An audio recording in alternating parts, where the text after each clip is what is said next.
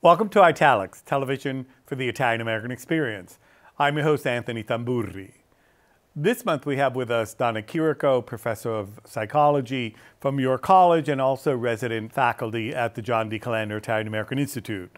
We're going to chat about things dealing with the Italian American community in general and also Italian American studies and what's going on, perhaps university wide. So, welcome to Italics Thank once you. more. Thank you. Always a pleasure to be here to talk about these important matters that don't always seem to concern everybody. Well, we're going to make sure that they concern people, I think, after this. Let's start with a general theme, and that is the responsibilities of ethnic associations, in our case, Italian American associations vis a vis Italian Americans and their, well, I'm going to use a word here that some people are going to shudder about their positionality mm-hmm. within the U.S. fabric, right? Right. Do they even have any responsibilities? Can they just do whatever they want? I mean, how do we deal with that?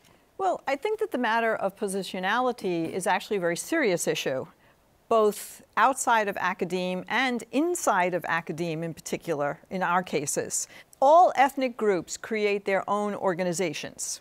And the problem that emerges is that even when different ethnic groups share the same goals, be they social, political, whatever they are, they don't interact with each other.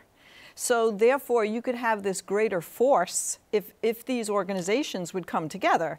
And then ironically, within the Italian American community, there's probably even more disagreement among some of those organizations who don't seem to understand that they need to coalesce around the issues that are most critical for their community. And they, again, independently, they speak about these issues, but an outsider sees dozens of organizations talking about the same thing without any one clear message, or even if not one clear message, at least a shared mission of some kind that they could reach out to.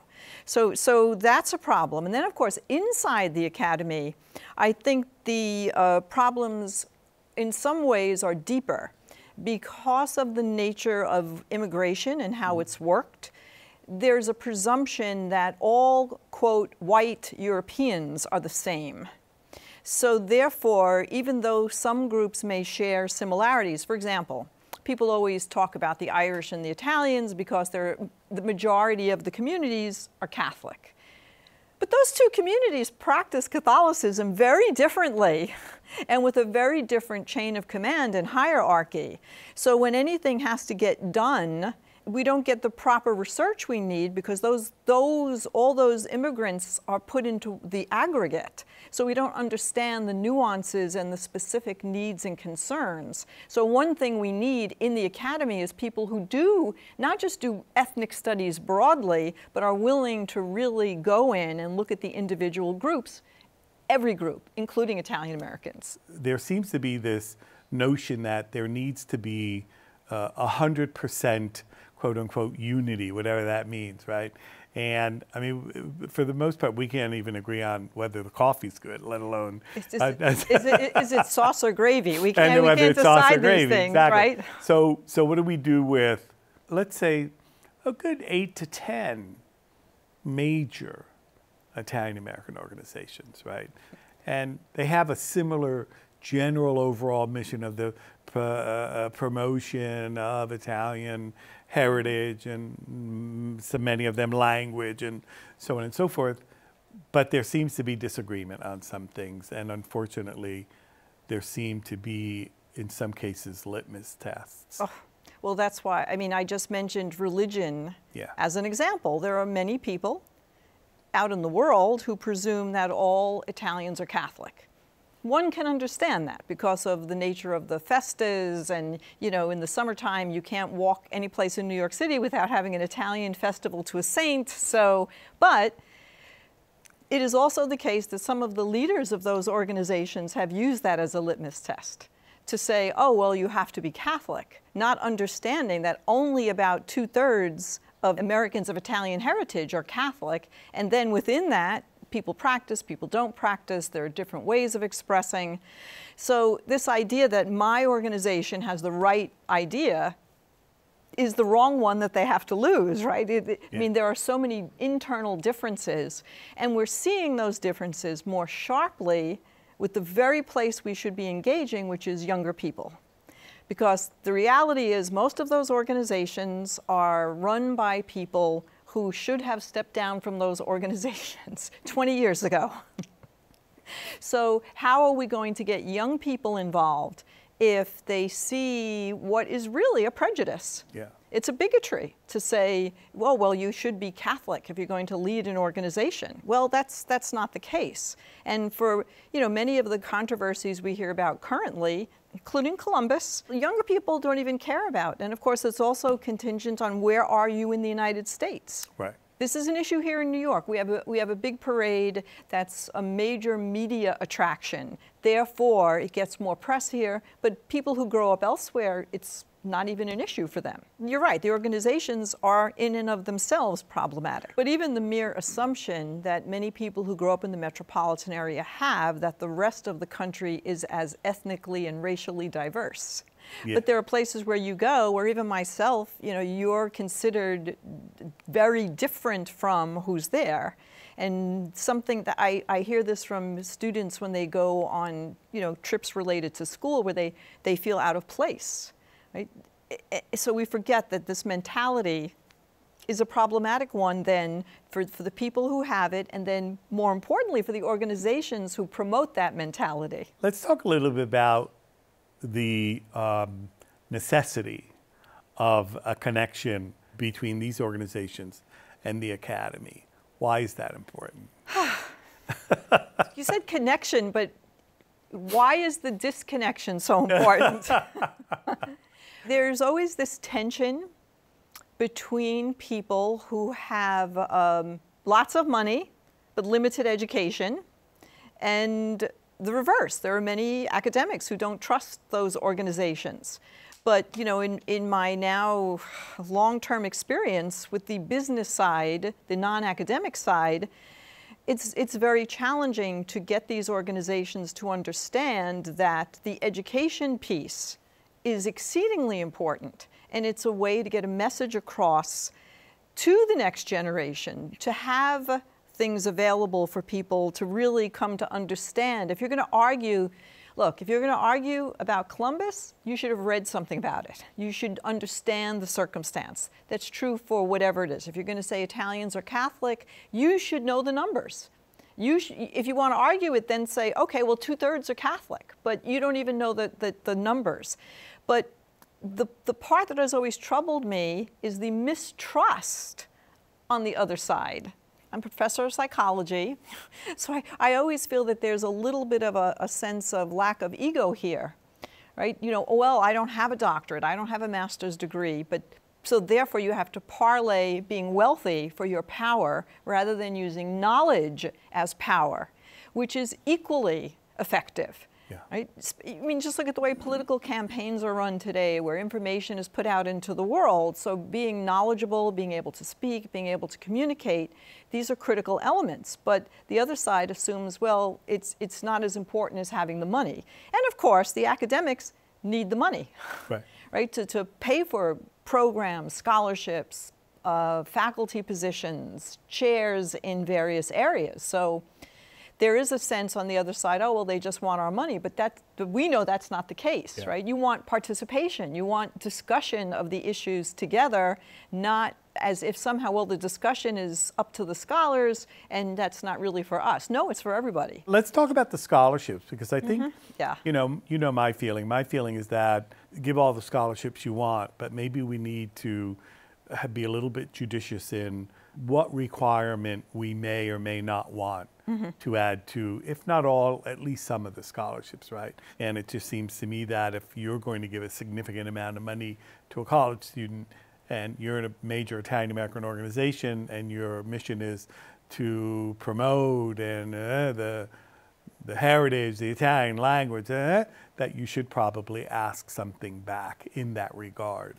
And that's where I think a semester or two of Italian might be a requirement. Well, there's no question about it, especially since many of those, many of the leaders of those organizations would say they are giving the scholarships and at the same time they want to have young people learn about their culture and continue the traditions of the culture. So one way to continue the tradition would be for people to learn Italian. Right learn Italian history, learn origins. We, we, were talking about film, right? I mean, watch some Italian films, see what, how the world is portrayed in one, mm-hmm. in Italy versus here. Right? It's, it's, there's some horrific portrayals of Italy done here in the United States, yeah. as well as Italian Americans. Mm-hmm. so to see, as you said, see things that raise what we would call your cognitive dissonance about it, right? It's not all one monolith. There are yeah. different experiences.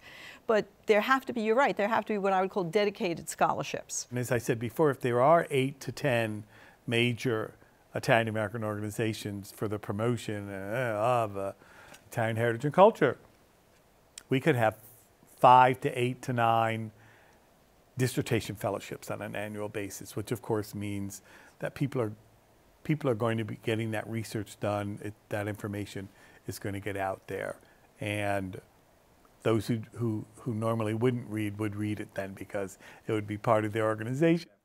But you're right. You know, the books are important because some people are doing work in areas that are fascinating to the general public. Right. So therefore, it gets out into the the bookstores, it gets on Amazon. If people are searching for a topic, the book comes up, they buy the book. Yeah. They don't understand the extent you, that you can Im, influence people about what they think about the Italian American community. Yeah. Right? It's, it's just seen as, you know, research yeah. they can't understand. Yeah. A recent novel by Anthony Marra, who happens to be of Italian heritage, his novel, uh, Mercury Pictures Presents, is about Italy and the United States before the war it's fascinating. You know, when you talk about how your family came or what, your, what affected your family, here's a way to learn about it in a way that is not simply reading a dry paper, right? As they might say. We find them fascinating. but it's to support people who are writers, scholars, poets, and it yeah. doesn't happen the way it should.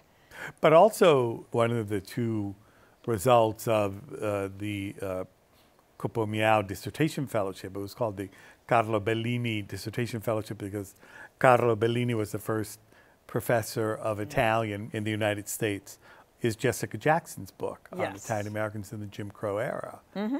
And, you know, there's that one, one episode in the book she recounts about an African American being uh, charged and found guilty of miscegenation because he, quote unquote, lived with, co-inhabited with a white woman, and then the, the defense was, well, but she's Sicilian. but it's important. It's oh, important oh, yes. to know how Italians and specifically how Sicilians were perceived in 1922 in Alabama. That was mm-hmm. the case that took place in Alabama. We have this idea that Italian Americans are mostly here in the Northeast, and we know there are fairly large communities in many places, and they have a different kind of history based on things like Jim Crow, based on other aspects of the local community that were not true here, right? Mm-hmm. Here, there's always been a greater interplay among racial groups, ethnic groups, which you do not see in places in the South still. Right. So therefore, the experience becomes different. They're fascinating to learn about. And then you, you know, I always laugh when um, you're at an, a meeting and there are people there from these organizations and someone always says, well, my family all came legally. And I want to say, can you prove that? because we have this notion, oh well, all the uh, European immigrants came legally. I'm like, right. really? Go to go to the Bronx and to the communities there yeah. where there are still Europeans who are not legal. Let's talk about something else that I guess we can categorize it all under the general rubric of humor. I have a series of questions, right? Mm-hmm. One, should we distinguish between that sort of spicy, saucy humor? Should it should should we articulate it only privately within the tribe or or is it okay to do it publicly, right? Number one. And is everything on the table? Mm. Yeah. I mean, this is something that um, has been studied widely in psychology, certainly. I mean, Freud wrote about it, right? And Freud made a distinction between humor that was really meant to denigrate a person right. and then the kind of humor that's based on puns and, and other language that was not. So now the part where you denigrate a person, we now call those microaggressions. Hmm. But they're insidious. To give an example, and I won't name the campus, a diversity, equity, and inclusion conference was workshop was held on a campus, and a person who was at the, this workshop talked about Italian Americans being a uh, an affirmative action group at City University, to which an, another faculty member on that person's campus said, "Oh, what line from the mafia did you have to use to get that categorization?" Now, why was the colleague upset and told me the story? Because nobody in the room said anything. Because this is a legitimate issue at CUNY, right? So even the people running the workshop didn't say anything, right? Say, well, that's not the kind of comment you would make, or why would you assume it's illegitimate? So we often couch very serious negative issues in humor. I have no doubt that the person who said it absolutely thought that somehow they, that, that the community had been pressured into creating that category. Yeah. So it's, uh, it's, it's a fine line, but it, it is one that we see replicated in movies and advertising by Italian Americans. Right? There are many, many a bad television show, many a bad Indeed. movie, a couple of recent movies that have just come out or are coming out, which perpetuate yes. that we're all a bunch of, you know, idiots. We, you know, we, we eat all the time. I mean, it's like, yeah, these things are all true. And as we know, stereotypes often become traditions and we like the good ones, but to the rest of the world, that's what they see, a bunch of buffoons sitting around a table, mm -hmm. right? It's, it's, it's important to understand that it has to be counteracted at least in some way. Yeah. I have two, uh, two uh, incidences in mind. One, of course, is the name of a restaurant in Kansas called Terroni. Now, for people who are familiar with Italian, you know that Terroni is basically the N word for Southern Italians, mm -hmm. right? Yeah, these people opened up a restaurant and they called it Terroni, right? And then the other thing, of course, I have in mind is the person who has, and we see this in English, of course, but who goes around with an expression that basically tells you where to go, what to do, and how to do it, right? Mm -hmm. I'm using euphemism here. Right. What do we do with those? It's an important point because I think you have to divide it up a little bit more. The average, you know, guy who's walking around Little Italy in the Bronx, you know, he wants to buy a t-shirt, he wants to support his friend. I have a little more patience for that. But I've seen leaders of major organizations that support Italian American issues wearing such things. Right? And there I have a problem. So you're trying to communicate that, uh, you know, we are an upstanding member of the community, that we have a lot to offer, and uh, here you are, and you're, you're putting forward these messages, in part because you don't speak Italian, you don't know what terrone means, right? You don't, understand the strength of that. Right. You don't right. understand the power of because nobody's right. saying it in front of you when you go on your nice, you know, tour to, right. to Sicily. So to me, that that's this is actually a very important point because you throw these things around and they perpetuate these, not just stereotypes. Every community has stereotypes, but you perpetuate a negative feeling toward a group that somehow they're not worthy enough, smart enough, educated enough to move to the next levels of leadership in not just business, but other places. Right? So it, it becomes a, a, very important point about, th about this issue. Mm -hmm. Advertisements you know, I did something a few years ago about, you know, showing the advertisements going back to the 20s and how, you know, until the present, it's as if Italian Americans only care about these three things. Right? And in, it's always a woman in the kitchen making the sauce or whatever. I mean, occasionally you, you throw somebody else in the mix, but the same messages are sent across that are not supportive messages to the next group that wants to come along and break away from that idea. You don't have to get married. You don't have to have children. These are choices you make. But if you're going to say to me, oh, when you're, once you're married, you know, you, you can't work, well, that's an absurd idea, but one that many ethnic groups, not just Italian Americans, still perpetuate. That's why I asked not only what's on the table, but whether what might be okay within the tribe and what might be okay publicly you know, and um, and how then, and you just explained how it's read, you know, and then we've seen some major Italian organizations here do some advertise, make some advertisements that just sort of, you know, make you go, hmm. that clearly someone has not given that any thought, or is there someone who was Italian American had nothing to do with that Right. advertisement, right? Right. And also the idea of differences within communities. I had once had a, a conversation with a, a colleague who's African American who understands the differences in the black community very well. And that person was so surprised to hear that ethnic differences exist within the community. When these stereotypes are thrown around in advertisements or, or movies, movies have a huge impact, right? I mean, there's no argument. The Godfather had an enormous historical, intellectual impact and led to a series of other films that perpetuate the same Yeah. idea.